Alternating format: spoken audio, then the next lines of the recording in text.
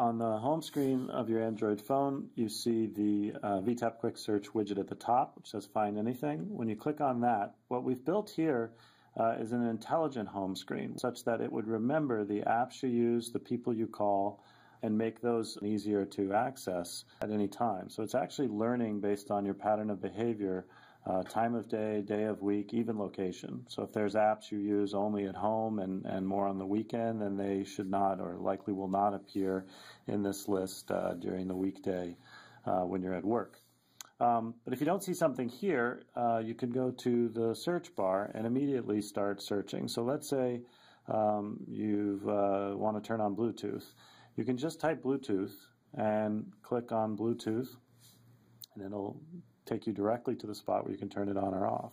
Uh, another option and something that uh, you might want to set as an alarm in the morning. Now you don't have to remember the name of the app, you can just type alarm uh, and as you're typing you'll see the clock app with alarm in parentheses shows up. If you click on that it takes you directly into where you can create the alarm.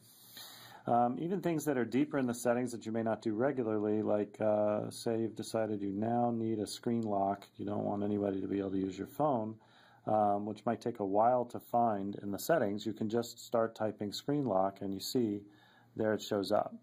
Now these apps will be learned too if you use them regularly and uh, then the home screen comes in, the intelligent home screen will help you out by showing them before you even search.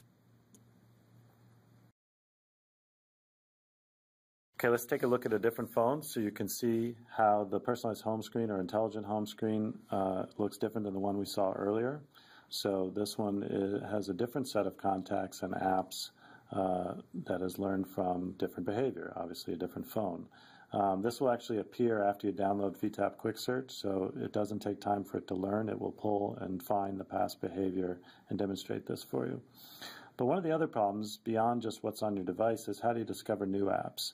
So let's take a look at a couple of examples there. So let's say I was uh, planning a trip and I type in travel. Um, what the app does here is it links to relevant apps on my device, so TripIt shows up, but it also brings in apps from the Google Play Store. So uh, you see a list of apps that are all one click away to download those. Um, if I took a different direction on that and I said, well, I'm actually just looking for flights, um, type that and you see also apps related to that. And if I click on Kayak, uh, you see that it deep links directly into the Play Store where it's one click to kayak and then one click to download, um, which makes it extremely easy to find and discover apps to use on your device. Uh, one last example there is, uh, let's say I'm looking for movies. Um, well, as I'm typing that, you see on my device, uh, the Flixster app shows up, um, so it made that connection.